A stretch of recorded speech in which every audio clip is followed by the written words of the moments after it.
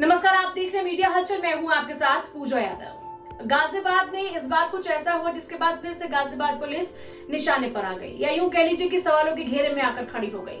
दरअसल गुरुवार को कथित तौर पर गौ तस्करी के मामले में पुलिस ने छापेमारी की और वहाँ पर एनकाउंटर के दौरान में सात अपराधियों को पुलिस ने गिरफ़्तार कर लिया। यहाँ चौंकाने वाली एक बात है, जिस पर सबको संदेह हो रहा है। अब आप तय कीजिएगा कि इतफाकन ऐसा हुआ या फिर कुछ मामला अलग है। आइए आपको पूरा मामला बताते हैं। दरअसल जिन आरोपियों को पकड़ा गया मौका वारदात से, उन तमाम आरोपियों के घुटने के नीचे गोली लगी है।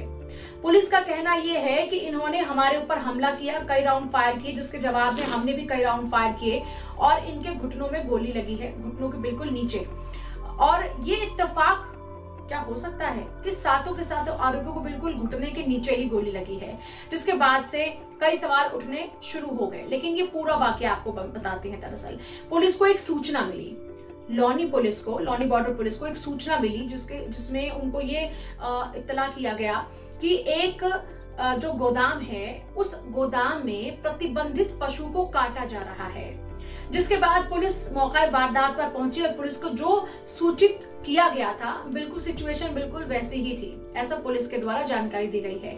जिसके बाद जब पुलिस वहाँ पर पहुँचती है तो उन अपराधियों ने पुलिस के ऊपर ही कई राउंड फायर करने शुरू कर दिए।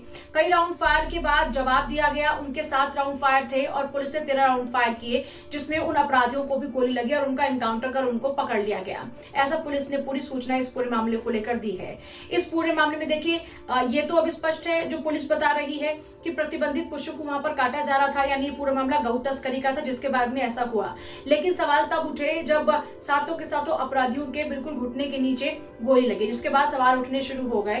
खैर, इससे इतर आपको बता दें कि दो आरोपी अब भी भागने में कामयाब रहे इस पूरे मामले में, जबकि सात पुलिस की गिरफ्त में है और उन दो आरोपी की भी लगातार तलाश पुलिस कर रही है और बहुत ही जल्द पुलिस का दावा है कि उन आरोपियों को भी गिरफ़्तार कर लिया जाएगा। लेकिन ये पूरा का पूरा मामला गुरुवार का है।